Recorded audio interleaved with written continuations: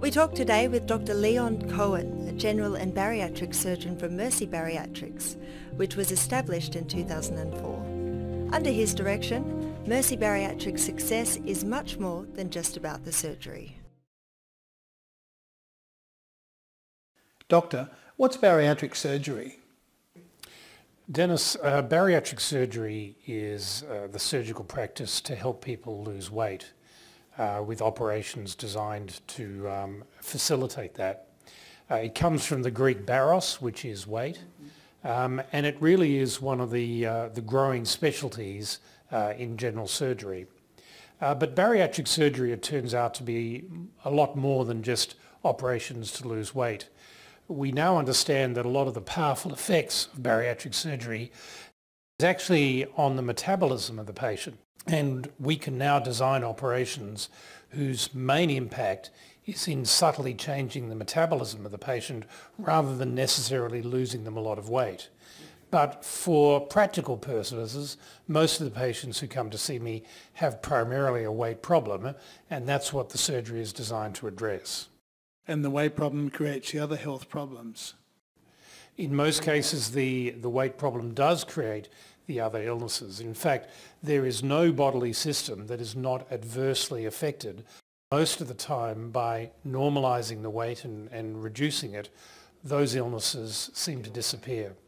Um, there are a number of criteria that we use to select people suitable for surgery. Um, the most commonly applied one is based on a measurement called BMI or body mass index. And that's a measurement derived from the patient's height and their weight and it takes into account that the taller a patient is, the more weight they can legitimately carry. A normal BMI is 20 to 25, 25 to 30 is overweight, and I've got a BMI of 30. 30 to 35 is uh, obese, and anything over 35 is considered to be morbidly obese or severe obese. And generally, bariatric surgery is offered to patients when they have a BMI over 35. But BMI is just a number.